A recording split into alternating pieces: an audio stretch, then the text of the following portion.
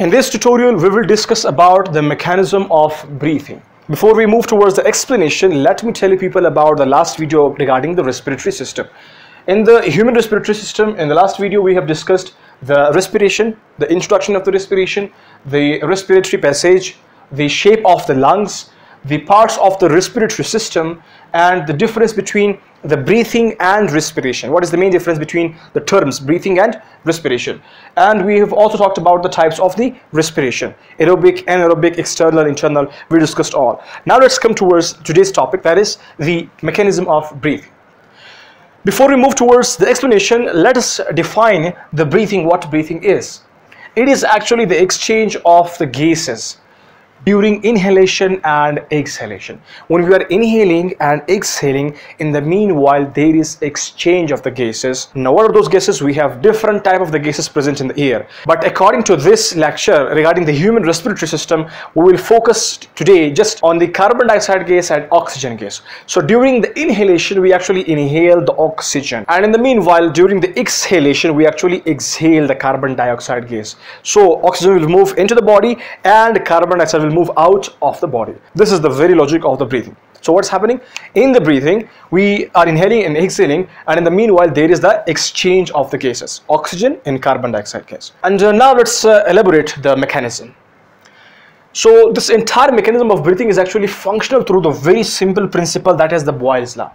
So the entire breathing is actually functional according to Boyle's law. Now what is Boyle's law? According to Boyle's law, pressure is inversely proportional to the volume. Now what is meant by this relation? Simple. If you increase the pressure, the volume will decrease. And if you decrease the pressure, the volume will increase. Means they are actually opposite. If you are increasing one, another will decrease. Got? If you are increasing the pressure, the volume will decrease. If you are increasing the volume, the pressure will decrease. Very simple. Now let's consider this principle for our breathing, mechanism of the breathing. Okay.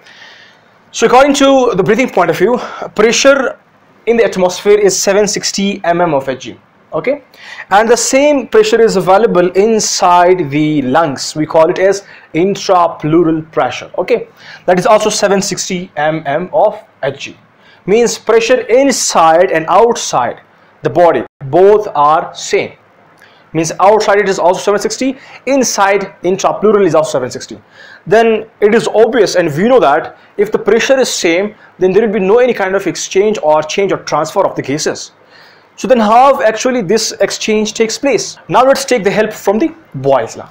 We got the concept here according to Boyle's law. If you increase the volume the pressure will decrease. If you increase the pressure the volume will decrease. So now how this principle is valid for the mechanism of breathing very simple.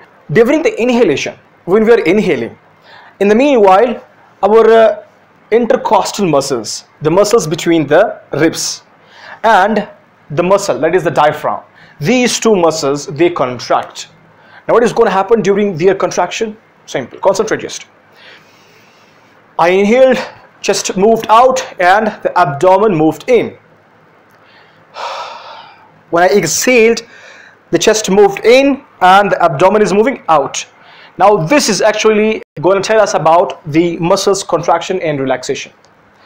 During the inhalation when we inhale the intercostal muscles remember intercostal muscles are of two types internal and external.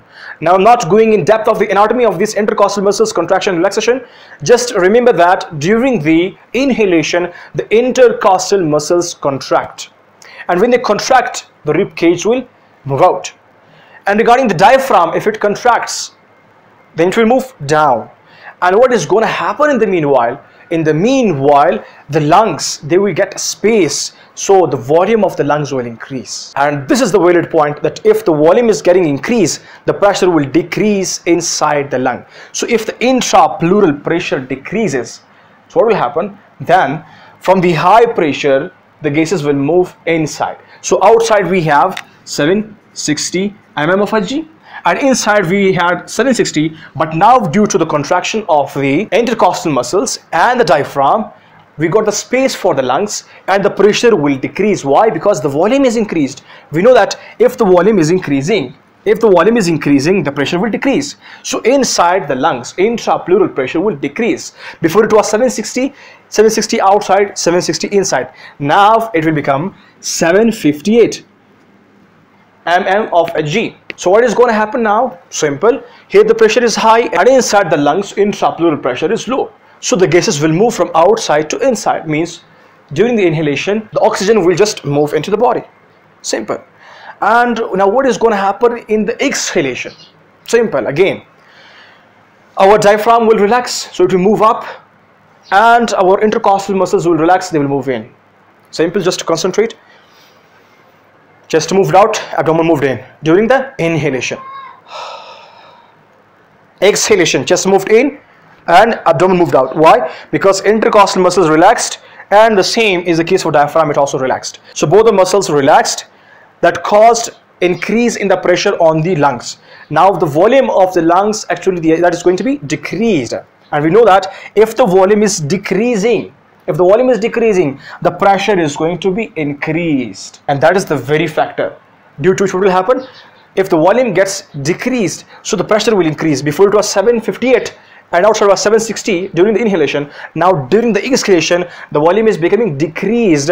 So what will happen? Now this will shift from 758 to 762 now inside the lungs intrapleural pressure is 762 millimeter of mercury and outside is 760 now here the pressure is high as compared to atmospheric pressure. So the gases inside the lungs will move out.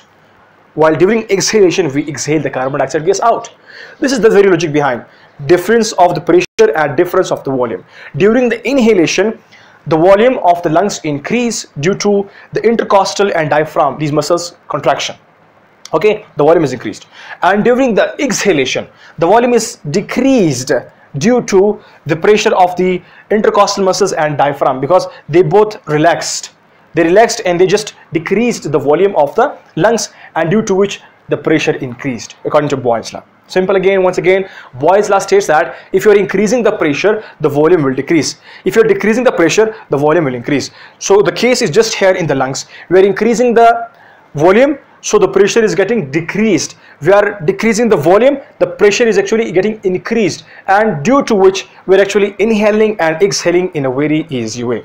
And that's it all from my side regarding the breathing the mechanism of breathing i hope you got and if still you have any kind of confusion feel free to ask us in the comment box. And thank you for watching